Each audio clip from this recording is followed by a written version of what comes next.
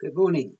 It's really good to be with you again as we continue to study the book of James together. We're going to be in James chapter 3, verses 1 to 18, and oh, verses 13 to 18. And again, it's really dealing with the whole subject of wisdom. We touched on that briefly in chapter 1 and verse 5, where said, If anyone lacks wisdom, let them ask God who gives generously we're going to read that passage, and I believe it is an important passage, and then I'm going to pray, and then we're going to consider God's word. So, reading from God's word, chapter 3 and verse 13. Who is wise and understanding among you?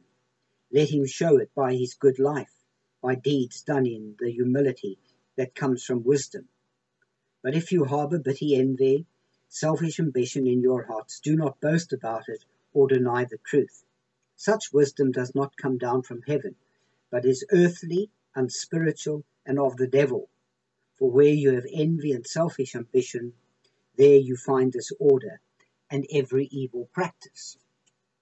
But the wisdom that comes from heaven is first of all pure, then peace loving, considerate, submissive, full of mercy and good fruit impartial, and sincere, peacemakers who sow in peace raise a harvest of righteousness. We're going to pray together. Father in heaven, we come to you this day, thanking you again for your word. We are conscious, Lord, that we need your word and we need wisdom. And we want to pray that you would impart to us today a spirit of wisdom and revelation that, O oh God, you would speak into our lives, open our eyes to your truth, open the eyes of our heart to embrace your truth. Make us wise. God, just in a wonderful way, we pray for an encounter with you. Lord, equip us, teach us, we pray. Hear us, we ask. In Jesus' name, amen. Right, well, it's really good to be able to consider God's word together, and that's what I want us to do today. If all else fails, read the instructions. It's very interesting. I was thinking about this passage, talking with some folk, and last night I actually dreamed about this passage and the importance of this passage. And it really was just impressed upon me again the importance of wisdom. And again, I want us to think about that because I believe that this was a prompting from the Lord. So James starts with a question who is wise and understanding among you? Now, wisdom can be mistaken for many things. We can mistake it for knowledge, in learning, tradition, and even grey hair. Some of the cleverest people I know are not wise, and we often speak about the clever fool. But Proverbs chapter 4 and verse 7 tells us wisdom is supreme, therefore get wisdom. So wisdom is not just an issue of what you are saying with your mouth, but rather wisdom relates to what you are and what you do. That's what James is telling us. He's a practical man. Now we need to distinguish between what I call general godly wisdom and a word of wisdom and knowledge that God gives. Wisdom and knowledge are a spiritual gift that we read about in 1 Corinthians chapter 12 and verse 8. To one there is given through the Spirit a message of wisdom, to another a message of knowledge by means of the same Spirit. Now, I will say more about that a little later on. But in verse 13, James is saying, Let him show wisdom by his good life, by deeds done in humility that comes from wisdom. So he's clearly saying to us that wisdom is really knowing and doing. Okay? Knowing is doing in the Christian life. Now, I want you to think about this situation for a moment. Your son comes to you and says, Dad, I want a bicycle. So you say, Great, we'll get you one. And the first mistake you make is you go to a catalogue and you order one. The box arrives and it's like a box of scrap metal. It's full of nuts, bolts, bars, and pieces. And you look at this, and in your brilliance, you read the instructions. And then you start. Connect AA to BB, connect C to D, And then you get totally confused. So you hit on a great idea. Read the instructions again. So you read them over and over and over. And eventually what's happening is Johnny is becoming a little agitated. When's the bike coming? And you say to him, listen, my boy, I am now an expert on bicycle assembly. And let me tell you about this bike. There are 97 moving parts on it. The tires are made of biodegradable, recyclable material. The saddle is made from renewable resources. This is an amazing bike. It's got disc brakes. What more could you want? And he's not really interested in this. He's saying, Dad, I want action. Put it together. That's what I want. And in the Christian life, there are a lot of people who claim to know the instructions. In fact, they tell me, I've read the manual, I know the Bible. But I am convinced that there are lots of people who claim to know the Bible, love the Bible, having read the Bible, but they're afraid of the Bible. They're afraid to put it into practice. The Christian life is knowing and putting into practice. I mean, think of something practical. You read in the Bible, God says, tithe, give me a tenth of your income. Oh, I can't afford to do that. You're afraid of the Bible. God says in 1 Corinthians chapter 12, 13 and 14, eagerly desire the greater gifts to prophesy, to speak in tongues. It's in, it's in fact an imperative. We're afraid to pursue that. We're afraid of the Bible. Now, wisdom is knowledge in action. Wisdom is knowledge in action, putting the Word of God into practice. Now, in James chapter 3 and verse 1, we read about those who were teachers. Many wanted to teach. Now, the key to teaching is to put knowledge into practice. That's the important thing. That is true wisdom. Now, it's interesting, in the Old Testament, there was no word that was used for the word religion. Whenever the people wrote about religion, they wrote about the fear of the Lord. And Proverbs reminds us that the fear of the Lord is actually the beginning of wisdom. In simple terms, your relationship with God is the start of your journey to becoming wise and to wisdom. Now, we're told by James there are two types of wisdom, okay? And in fact, there are two origins of wisdom as well. So listen to this. We read again here in verse 15 and in verse 17 of the passage. Such wisdom does not come down from heaven, but is earthly, unspiritual, and of the devil. But the wisdom that comes down from heaven. So what he is saying is we have heavenly wisdom and we have human wisdom. One is from God and the other is not. Now the problem with human wisdom is that it works in the short term, but the long term consequences of our human wisdom often proves to be fatal. Verse 15, listen to it again. Such wisdom does not come down from heaven, but is earthly, unspiritual, and of the devil. Now, these words speak about the origin of our human wisdom. I want you to think about this for a moment. As Christ followers, we have three deadly enemies the world, the flesh, and the devil. Now, when you look at this verse, the earthly is the world, the unspiritual, the natural is the flesh, and the devil, of course, he speaks for himself. We know all about it. So, enemy number one that we have is the earthly or the world. And you see, there is a wisdom that comes from the world. It's a human wisdom, relates often to learning, if nothing more. Now, in 1 Corinthians chapter 1 and verse and, and verses 20 and 21, we read these words Where is the wise man? Where is the scholar? Where is the philosopher of this age? Has not God made foolish the wisdom of the world? For since in the wisdom of God, the world through its wisdom did not know him. And he says, God was pleased through the, through the foolishness of what was preached to save those who believe. So there is a wisdom that comes from the world. Quite clear. And again, I think so often we confuse knowledge with wisdom. Now, we live in an age of information overload. I mean, we're bombarded all the time with new information. Now, there are many benefits from the learning of people and information. I mean, in terms of medicine, media, communication, travel. But knowledge is not wisdom. And we have experts, and they are producing reams and reams of information. And lots of that information is contrary to the Word of God and the practices we find in the Word of God. Now, I don't want to go into these issues in any detail. But you know, there are people telling me that you can actually choose your gender. Now, I'm not an expert, but I do know that X and Y chromosomes cannot be changed by an act of will or something happening in my head. And we're told that children's rights are good and important, and they are. But I wonder what about the rights of parents and of teachers? Protesters have the fundamental right, we're told in democracy, to demonstrate.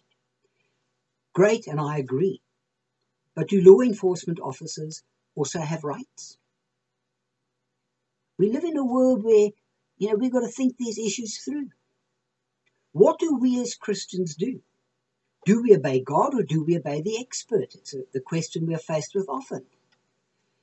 Well, in Psalm 1, verses 1 and 2, we read, Blessed is the man who does not walk in the counsel of the wicked or the ungodly. He delights in the law of the Lord, and on his law he meditates day and night. Now we face a challenge. Do we sit with the experts in judgment on God and his word, and follow humanistic philosophy and wisdom. 1 Corinthians 1 and verse 21 says, The world through its wisdom did not know God. Now, the world is simply society without God, society living with no reference to God. It rejects God, it rejects His word. And so we read in 1 Corinthians chapter 1 and verse 18, For the message of the cross is foolishness to those who are perishing, but to us who are being saved, it is the power of God. We're told in 1 Corinthians chapter 2 and verse 4 that the man without the Spirit does not accept the things that come from the Spirit of God. They're foolishness to him. They are spiritually discerned. He cannot understand them. Now, human wisdom is based on ever changing human reason. And it's based on faulty and, if you like, fluctuating assumptions and ideas. Because every day another expert comes up with another idea. And I want to say this to you that God's wisdom is imparted by revelation. In other words, God has spoken and revealed himself in his word. We have it here. God speaks through revelation. So we have that. Human wisdom is in a continual state of flux. It's up and down all the time. God's word is a living and enduring word, a word we need to know.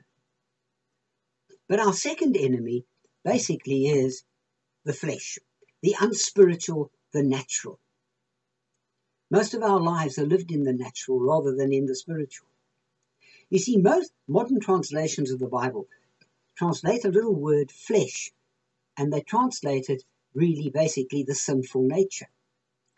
And false wisdom always basically is attractive to our sinful nature, to our flesh. In other words, human wisdom is attractive to the senses, not the soul. It appeals to our hearing, our smell, our taste, our sight, all of these things, our touch. We live in a sensual society. We're always wanting to gratify our desires and our wants. We're told in the book of Jude, Jude, who was the brother of our Lord Jesus, he wrote, These men who divide you follow mere natural or sensual instincts. They do not have the Spirit. You see, life is not about gratifying your desires, your wants, your greeds. And we have a clash of kingdoms. We have a clash of value systems, don't we? You know, you struggle between your new nature and what is deeply ingrained from your old way of life. and you're in conflict with those around you who haven't experienced Jesus. So listen again to those words of 1 Corinthians 2:14. The man without the Spirit does not accept the things that come from the Spirit of God. They're foolishness to him. And he cannot understand them because they are spiritually discerned. The prophet Isaiah, writing in chapter 11 and verse 2 of his book, tells us the Holy Spirit is the spirit of wisdom and understanding. When you have the Spirit of God, there's wisdom and understanding. You see, you as a Christian should, in a sense, begin to feel out of step with the world. You're a bit like a fish swimming against the stream all the time. 1 Peter chapter 1 and verse 1 reminds us that we are aliens and strangers in this world. Our third enemy, we're reminded, is the devil. And there is a wisdom that comes from the devil. Now, what we need to understand about the devil is that he comes with counterfeit wisdom. And that counterfeit wisdom that he has often bears resemblance to the real thing. And he doesn't come with blatantly outrageous ideas. He's a liar. Back in Genesis 3, Satan deceives Eve and Adam in the garden. They succumbed to his wisdom, and God had given them his word. He said to them in Genesis 2:17, "You must not eat from the tree of knowledge of good and evil." There was his word. But what they did was they moved from God's word to human reason, and there they were thinking, "Oh, we know what's good. What harm can a bit of fruit do? What harm can a bit of fruit do?" And it was a move, if you like, from revelation, what God had said in His Word, to their human reason. And what they did was they moved, yeah, revelation to their reason. And I want to say to you, Satan is alive and well on planet Earth, deceiving people as he did in the garden. And his native language is lies. He's feeding you lies all the time. He lied to Eve. He said to Eve, You will be like God the promise, I'll make you worldly wise. And you believe his lies, and boom, he destroys you. But notice the contrast in verse 17. The wisdom that comes from heaven is first of all pure, then peace loving, considerate, submissive, full of mercy, good fruit, impartial, and sincere. You see, Christian wisdom is not a philosophy or a theory. God is the author and the source of our wisdom. 1 Corinthians 1 and verse 24 tells us, To those whom God has called, both Jews and Greeks, Christ is the power of God and the wisdom of God. In, Revela- uh, in Ephesians 1 and verse 17, we read that the Holy Spirit of God is the spirit of wisdom and revelation. God gives you wisdom and God reveals himself to you. Satan is the great pretender. He's the expert counterfeiter. He will always come to you with forgeries.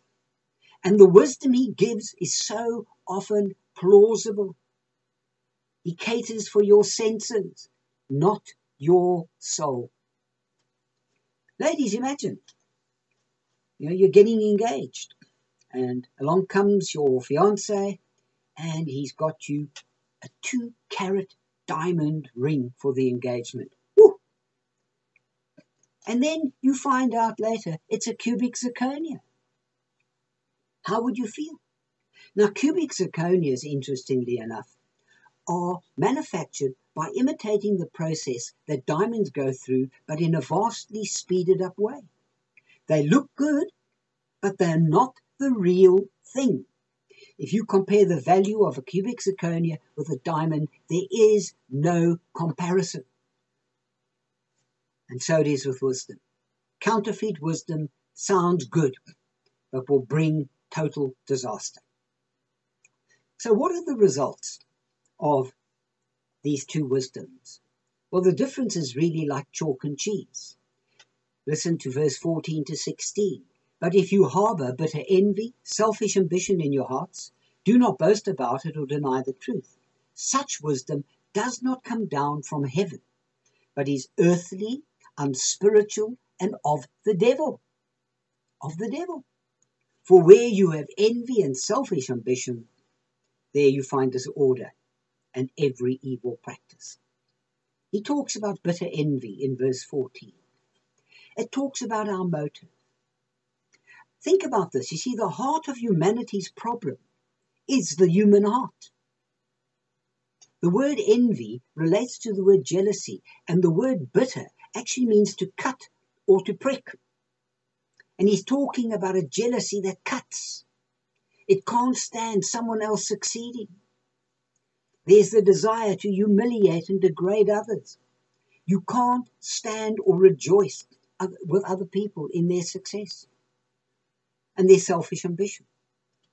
It's an interesting word, literally meaning rivalry or party spirit. This word selfish ambition was actually used of a politician going around canvassing to get votes. Vote for me. That's what he's saying. And basically, it is a spirit, if you like, of self seeking. And it creates rivalry and division in the church. You can't do that. The people who want position, and the motivation is selfish ambition, nothing else. He talks about boasting. Now, pride always causes boasting. There's nothing more arrogant than the proud human wisdom that is around us. You've only got to watch debates or listen to Richard Dawkins, the atheist, on television. There's an arrogance about him. He knows without a doubt there is no God.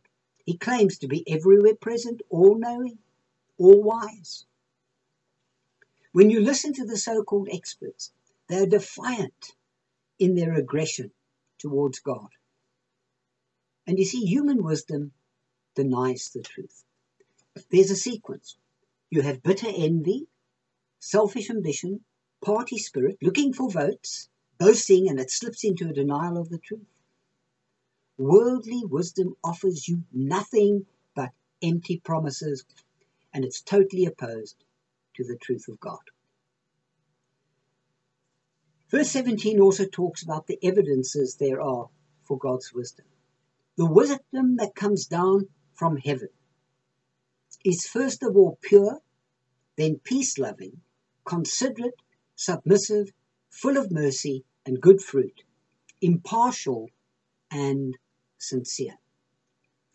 Now, in chapter 1 and verse 5, we read, If any of you lacks wisdom, he should ask God, who gives generously to all without finding fault, and it will be given to him. God, the generous giver. So, wisdom is a gift from God. And when you come to faith in Christ's conversion, you are awakened and suddenly you are spiritually perceptive and you begin to grow in wisdom as you're open to the leading of the Spirit of God.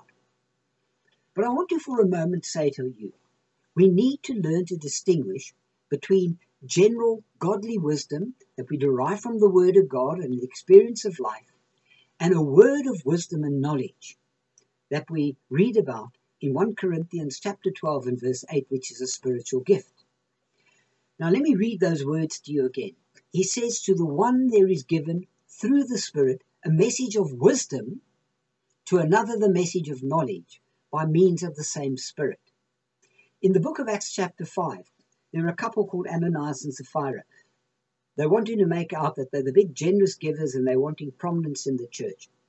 They sell a property, they come to Peter, they say, We sold the property, here's all the proceeds. Peter says to Ananias, Why have you lied to God? Ananias is struck down. A few hours later, his wife arrives. He says to Tell me, is this what you is this what you did? Yes, yes, no, we sold it all, gave it to the church. God strikes her down. How did Peter know? He was given a word of wisdom and knowledge. He knew what they were doing. You see, this gift often reveals hidden truth about a person.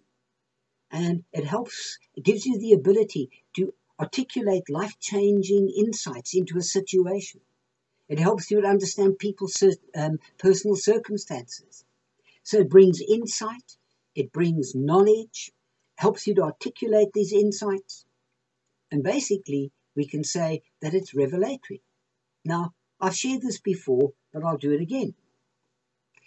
I was asked to see a lady. I never see ladies by myself, so I asked my daughter if she would be available just to be around when I saw this particular individual. My daughter said to me before she arrived, You know what? That lady is having an affair. I said, Okay. And she said she's having an affair with Mr. So and so. The lady came and we sat down and we began to speak. And then she confessed to me that she'd been unfaithful to her husband.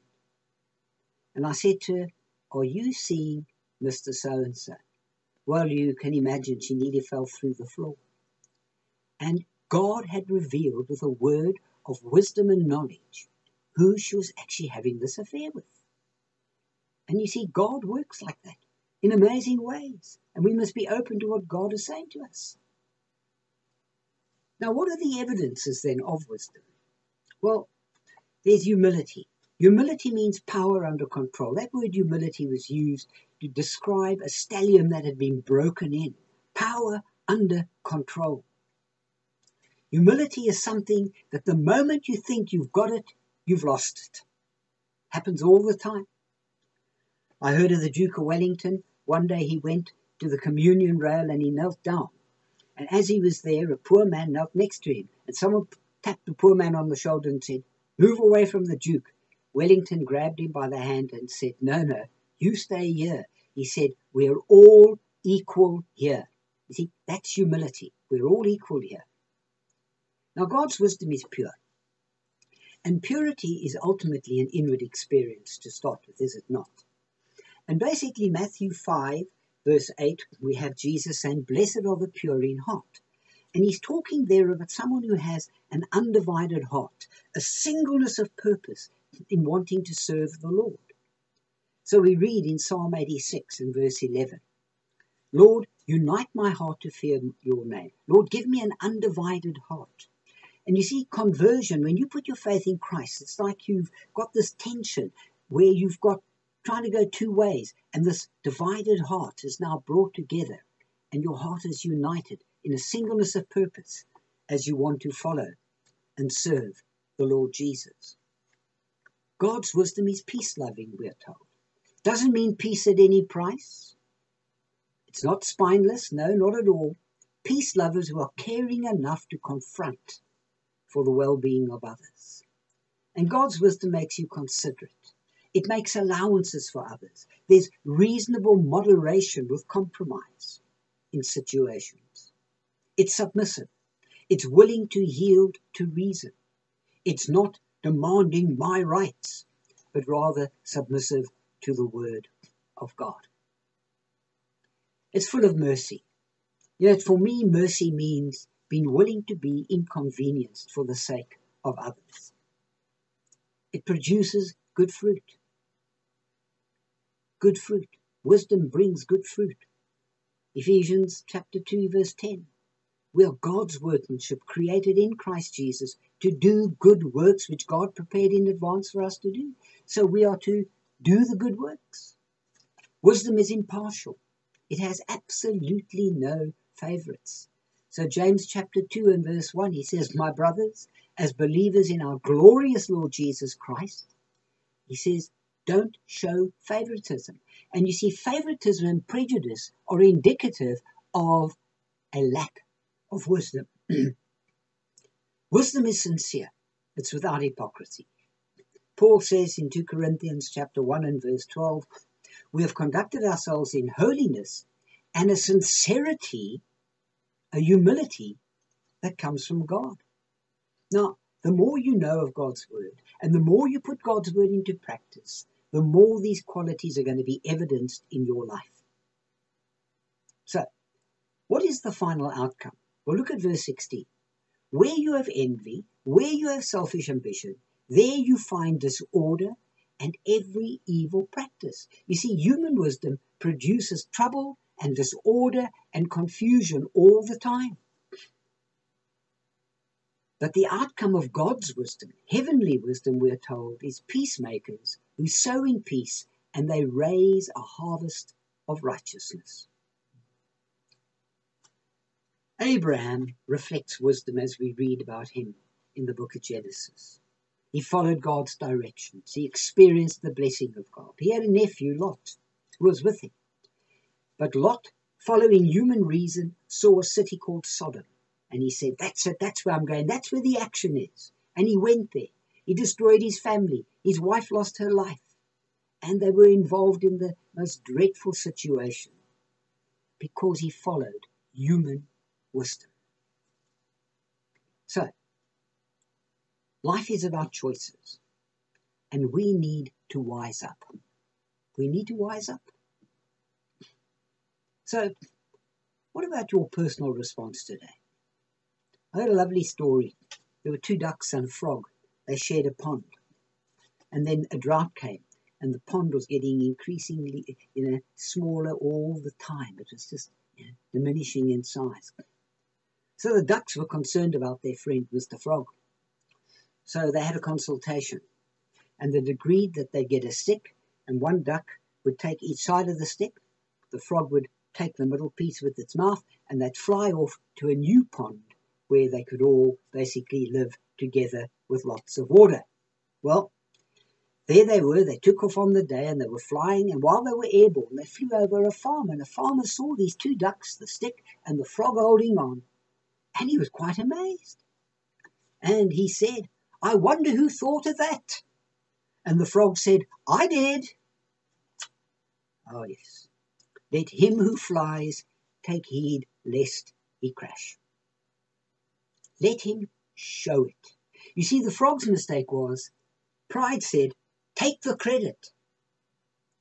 Do things in humility that come from wisdom. So, can I ask you what motivates you? Selfish ambition? That insidious, envious jealousy? The desire to get the vote or to do God's will? Are you one of those people? Every time someone gets a promotion, every time something goes well for someone else, it just eats away at you. That's worldly wisdom. See, as people look at you, what characterizes your life? You see, this is important pride, dishonesty, or purity and peace. Consideration, submission, mercy, good fruit, impartiality, sincerity. That what they see? See, where do you derive your wisdom from? Do you derive wisdom from self? That doesn't really help. Do you derive your wisdom from Satan? listening there all the time to his lies? Or do you derive your wisdom from God and his word? Let me say to you again, you want to be wise. You need to read this, you need to wise up. Hear what God's saying to you. How would you describe your life as you follow Christ? Is there disorder, confusion, or is there that peace, that righteousness? You know, life is all about the choices you take and how you act on them. You see, when all else fails, you've got to read the instructions. When all else fails, you've got to read the instructions. I don't know what God is saying to you this morning. I don't know how the Spirit of God is ministering into your life. But maybe you realize that you know you're so caught up with worldly wisdom. The psalmist says, The blessed man, the blessed woman, are not those who walk in the way of the ungodly, stand in the way of the ungodly, or sit with them. But their delight is in the law of the Lord. They meditate on his law day and night. They're like a tree planted by streams they grow, they flourish, they are blessed. I wonder what God is saying to you this morning. I wonder if God is not just speaking into your life. I just believe as I've gone through this passage and as I've thought about this passage, I know that, you know, again, I have felt very strongly prompted to say to you, wisdom is so important. Are you living a wise life? Are you honoring God? Are you? I want us to pray for a moment. I want you just to open yourself to the prompting of God, the prompting of His Spirit. It is the Spirit of wisdom and revelation. Maybe God is revealing to you some deep spots in your soul that you need to deal with, that you need to cry out to Him to, to work in your life, to make you wise. Let's pray for a moment. Father, I just pray that in your grace and goodness, you would just come and work in all of us, Lord, who are under this word at this moment in time. Lord, I just sense that you want people to you know, come before you and with an open heart. Lord, I want to pray that you would, in your great grace, answer that prayer in James 1 5. If anyone lacks wisdom, let him ask God, who gives generously. Lord, you're a generous God. Won't you just open our eyes? Won't you make us wise that we would honor you? Lord, you make wise the simple, your word says. And we come to you asking again that you would work in us. Lord, by your Spirit, energize us to be all that you've called us to be. We come praying, asking in the precious name of Jesus our Lord. Amen. Folks, can I just again say to you, High Barnet Baptist Church, put in a search engine, you'll find out all about us. If you need contact, my details are there, the details of our other leaders, we have literature, we'd love to help you. So please do be in touch. And may God give you grace. May you live this week with great wisdom as you honor Him. God wants to bless you, and God wants you to honor Him in all things. So have a great week. Beware of our enemy. He's out. He wants to sink us. Don't listen to his lies. But just surrender to the truth of God's word and follow him. Have a great week. I trust it'll be a great week for you and that God would abundantly bless you.